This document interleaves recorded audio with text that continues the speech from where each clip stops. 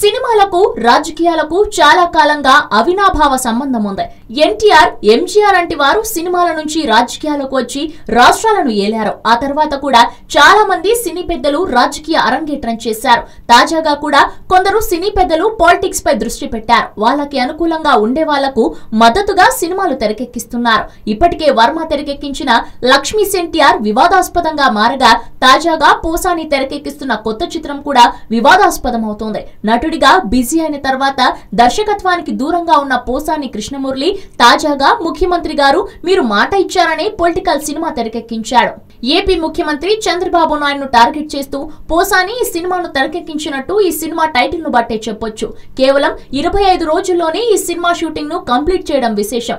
ఇక ఈ సినిమా విడుదలను నిలిపేయాలంటూ రాష్ట్ర ఎన్నికల సంఘం నుండి పోసాని కృష్ణమురళికి ఒక లేఖ వచ్చింది. ఈ సందర్భంగా పోసాని మాట్లాడుతూ ఈ సినిమాలో ఏముందో లేదో తెలియకుండా ఈ సినిమా విడుదలను ఆపేయాలని ఎలా లేఖ రాస్తారని ఎలక్షన్ కమిషన్తో పాటు ఏపీ ముఖ్యమంత్రిపై తీవ్ర స్థాయిలో మండిపడ్డారు. నా సినిమాను ఆపేయమని ఎవరెవరో లెటర్స్ రాస్తారు. అన్నిటికీ ఎలక్షన్ కమిషన్ స్పందిస్తారా అని ప్రశ్నించారు.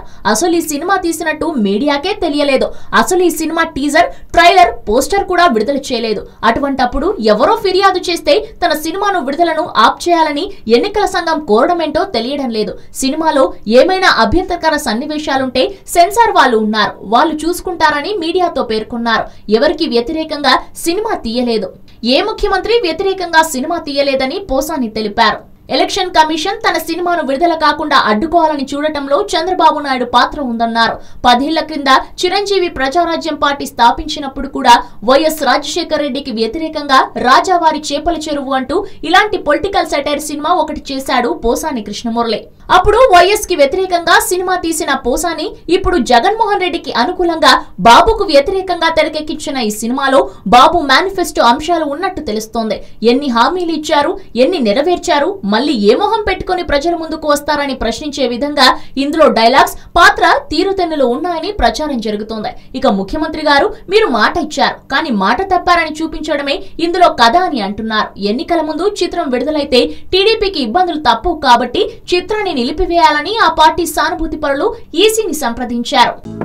హలో మిమ్మల్నే యోయో టీవీ యాప్ డౌన్లోడ్ చేసుకున్నారా? ఇంకా లేదా మీ యాప్ స్టోర్కి వెళ్ళి వెంటనే డౌన్లోడ్ చేసుకోండి.